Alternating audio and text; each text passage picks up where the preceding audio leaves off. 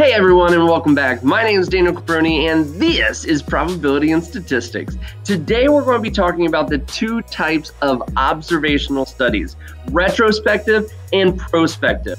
Now, it's not going to take us super long to get through the two, but there is a very important difference between these two studies, and I want to make sure you know exactly what that is. The first thing we should look at is making sure we know what the heck an observational study is. So, an observational study is a type of study where you're not actually changing anything yourself as the person doing the study. So, for example, in an experiment, we apply a treatment or do something that changes the person's life in some way, shape, or form, and we're able to compare results afterwards.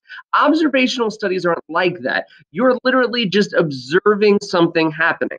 So that may be something more along the lines of like watching how children solve this particular puzzle or counting the number of cars that come in of a specific color, or standing on the side of the street and seeing how many people are wearing a seatbelt as they're driving past. You're not changing anything about them. You're just essentially collecting data by observing what's going on.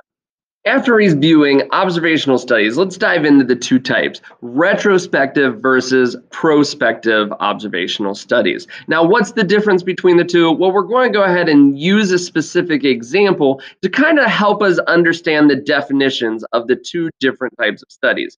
That example was students taking music class. So there was a study that came out that said, hey, students that take a music class throughout their schooling career are more likely to get higher grades. They just do better overall.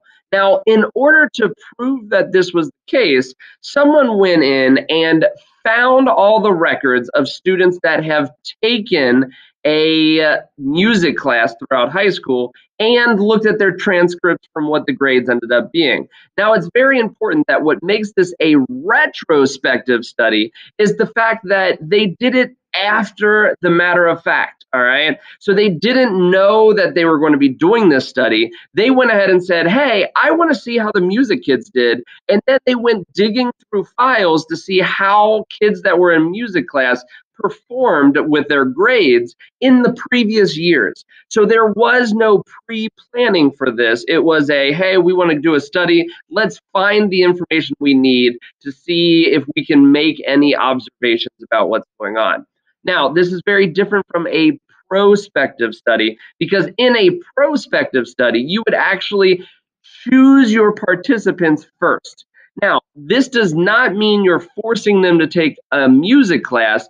This just means before you're observing their grades or anything, you go ahead and go into a school and you say, hey, for the next three years, I'm going to track your students that choose to take a music class and see how they do in terms of grades. Notice it's still an observational study. I'm not forcing music classes upon them. I'm not comparing them with other kids. I am simply looking at the kids that I have chosen to be part of the study, and I'm just watching to see hey, did they choose to take music? If they did choose to take music, what were their grades afterwards? And see if they're higher than whatever the average would be for the school. So that makes this a prospective study because they chose the participants before they actually went through whatever they were observing. So, retrospective is when you go back and look at files of previous things that have happened, and prospective is when you actually choose the study first and then let it unfold in front of your eyes.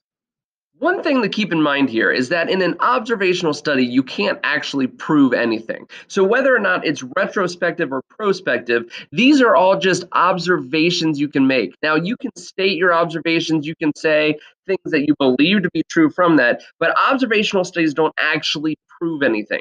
You just simply don't have the control needed in an observational study to be concrete with any decision.